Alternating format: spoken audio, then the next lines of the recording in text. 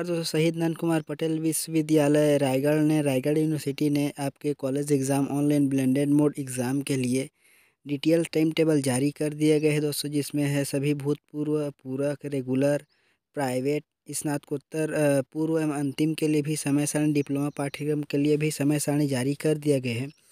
यदि दोस्तों कोई इसके लिए अपात्र पाया जाता है तो परीक्षा परिणाम निरस्त करने का अधिकार विश्वविद्यालय को होगा। अगर दोस्तों किसी भी प्रकार से आप फॉर्म को मिस्टेक करते हैं। आंसर सीट को समस्त परीक्षा केंद्र महाविद्यालय पर छात्रियों द्वारा प्रवेश पत्र एवं दोस्तों अटेंडेंस सीट में लिखित विषय का मिलान करके उतनी संख्या में विश्वविद्यालय द्वारा भेजी गई उत्तर पुस्तिकाओं को, परीक्षार्थियों को आठ अप्रैल से अट्ठारह अप्रैल तक कॉलेज से मिलेगा और उत्तर पुस्तिका वितरण है तो समय सारणी बनाकर वितरित करेंगे एवं वितरित उत्तर पुस्तिका का कक्षावार, छात्रवार विषय भी वितरित पंजिया में संधारित करेंगे। दोस्तों, आप लोग का प्रश्न पत्र डाउनलोड करने उल्लिखित उत्तर पुस्तिका संबंधी परीक्षा केंद्र महाविद्यालय में जमा करने के लिए तिथि जारी किया जा रहा है। तो दोस्तों, इस प्रकार से समय सारणी अनिवार्य रूप से उल्लिखित तिथि अनुसार संबंधित महाविद्यालय में इसको आपको जानकारी, आपके द्वारा डाउनलोड किए गए अटेंडेंस सीट में भरकर उत्तर पुस्तिका जमा करना सुनिश्चित करेंगे।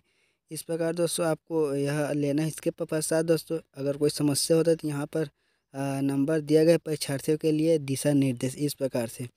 आप लोग को आठ चार दो हज़ार बाईस से विश्वविद्यालय की वेबसाइट पर आप लोग का अदर ऑप्शन पर क्लिक करके admit card attendance sheet download करेंगे। तो अगर इसमें किसी भी प्रकार से कोई समस्या होता है तो इन दिए हुए नंबर पर आप जो है डाउनलोड फ़ोन कर सकते हैं। तो दोस्तों, इस प्रकार से इसका इसको आप अपने पास डाउनलोड कर लेंगे। Admit card online blended mode के लिए जो समय सारणी जारी किया गया, इसी के अनुसार परीक्षा परिणाम को आपका रिवेल्यूशन और रीटोटल का कोई माध्यम नहीं रखा गया है इस बार। तो दोस्तों, इस प्रकार से यह जो समय सारणी है तो इस वीडियो को शेयर ज़रूर करें और चैनल को सब्सक्राइब ज़रूर करें।